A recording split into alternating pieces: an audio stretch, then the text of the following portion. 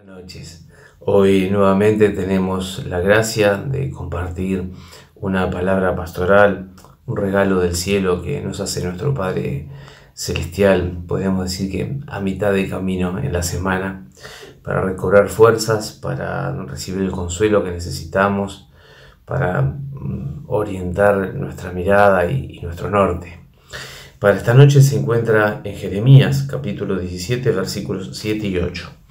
Bendito el varón que confía en Jehová y cuya confianza es Jehová, porque será como el árbol plantado junto a las aguas, que junto a la corriente echará sus raíces y no verá cuando viene el calor, sino que su hoja estará verde y en el año de sequía no se fatigará ni dejará de dar fruto.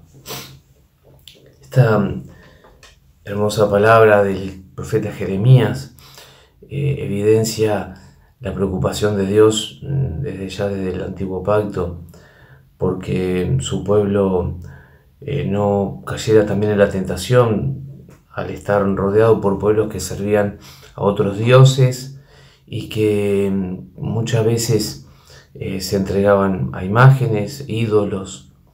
Y mm, esta preocupación de nuestro Padre también continúa hasta el día de hoy porque también nosotros somos tentados muchas veces a imitar a los que nos rodean, a, apoyar nuestra fe, y nuestra confianza en otros valores que no son Dios precisamente y que no es nuestra fe.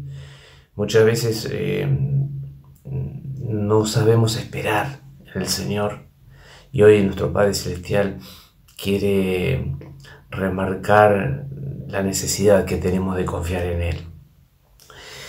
Aquí dice, habla de la confianza. Y nosotros eh, confiamos. Aquel que tiene fe, que se entrega a, Dios, que está determinado a seguir sus caminos, confía en, la palabra. Creemos en la doctrina de Jesús. Y sabemos que eh, más allá de que, de que muchas veces eh, nuestras experiencias nos han llevado a sentirnos defraudados o lo que fuera, nosotros confiamos en la ley del amor, confiamos en que lo que pide nuestro Padre, de que perdonemos a nuestros deudores, que podamos ser reconciliables, aunque muchas veces podemos sentir que no somos correspondidos. Pero esto también lo hacemos porque creemos en Dios, creemos en la doctrina y porque confiamos plenamente en sus caminos. Y esto sí que lo hemos experimentado.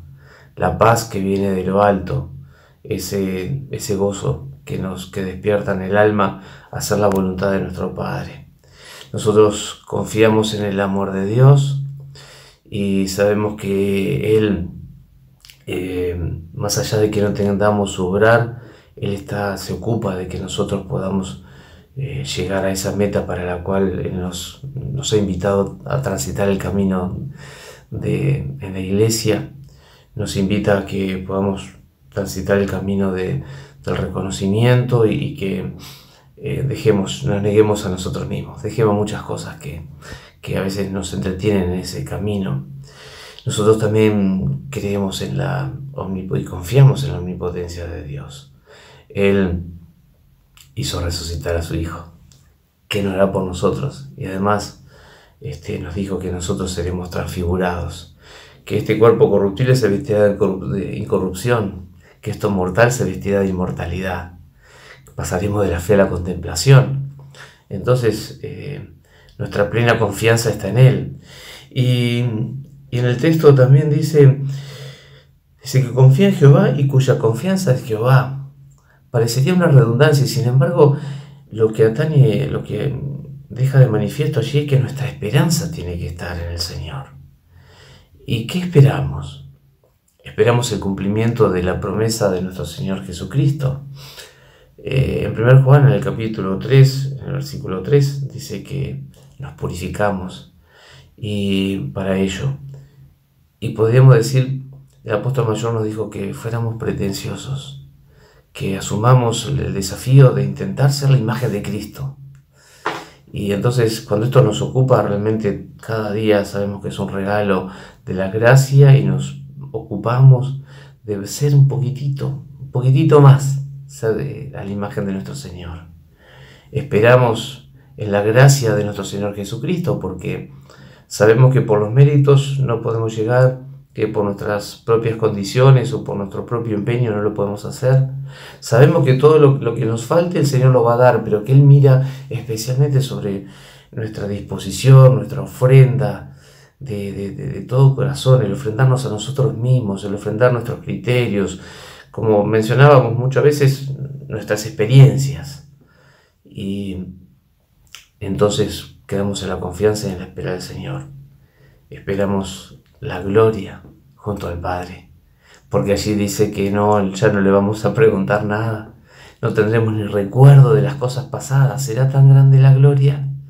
Y entonces todo sufrimiento que nos haya tocado pasar aquí sobre la tierra quedará a un lado. Que, que también podamos vivir cada día en esa esperanza esperando eh, en el Señor con una plena y completa confianza en Él.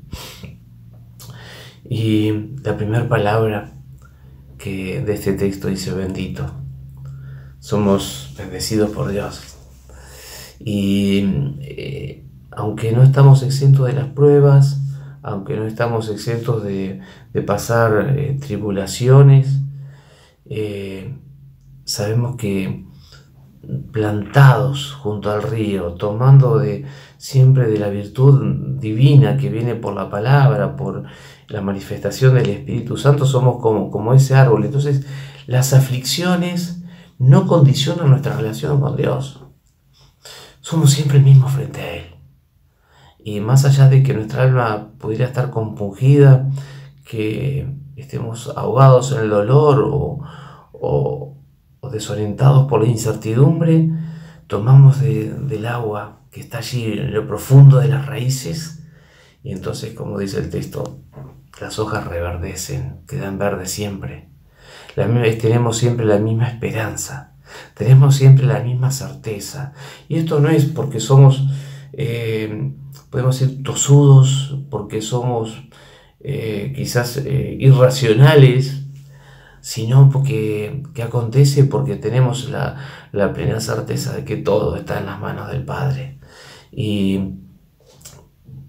en esa, en esa condición eh, permanentemente experimentamos la presencia de Dios en cada uno de, esos momentos. La bendición que esta que viene del Padre, que es de orden espiritual, especialmente. A veces también está acompañada de bendición material, pero que lo que nos interesa es lo que pasa por el alma, por el corazón, porque eso es lo que perdura. Entonces esta bendición está dada en que no tenemos un miedo desmedido a, las situaciones que nos puedan pasar. A Jesús eh, en Getsemaní le, le pidió al Padre si, si era posible que pasara ese vaso delante de él. Pueden estar las preocupaciones, pero no nos habrán de ahogar. Como mencionábamos, no, no cambia la relación con el Padre, y tampoco quedamos en ese miedo desmedido. Sabemos que las circunstancias y las tribulaciones son pasajeras. Sabemos que nuestro paso por la tierra es apenas un instante, es nada frente a la eternidad. Sabemos que aún la muerte es una instancia intermedia frente a toda la eternidad que nos espera. Y que entonces aún las almas que también que están en el más allá están recibiendo su ayuda. Entonces, realmente el Hijo de Dios no es temeroso, no tiene miedo. Tiene santo temor de Dios, que es algo diferente, que es amarlo tan profundamente que está mirando siempre de, cuidando de no defraudarlo. Entonces, pero aleja todo miedo. Y también cuando vienen esos tiempos de sequía y, y, no tenemos respuestas y parece que pasa el tiempo y allí es cuando el tiempo se vuelve más largo, ¿no es cierto?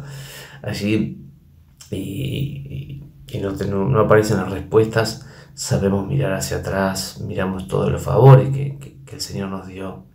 Y como ese árbol con sus hojas verdes, seguimos agradeciendo a Dios por todo, absolutamente por todo. Como ese árbol que está vigoroso aún en medio de, de la sequía, porque sus raíces siempre están extrayendo lo necesario de ese, río que es el activar del Espíritu Santo en, este tiempo. Entonces podemos velar por el prójimo, eh, podemos, eh, como era mencionado, ser reconciliables.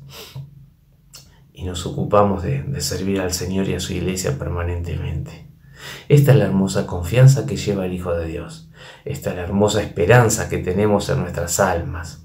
Es lo que nos hace eh, verdaderamente dichosos y libres. Es el gozo en el Señor lo que nos mantiene, siempre firmes porque hemos aprendido a mirar más allá, siempre más allá. Y más allá es la venida del Señor. Él viene pronto.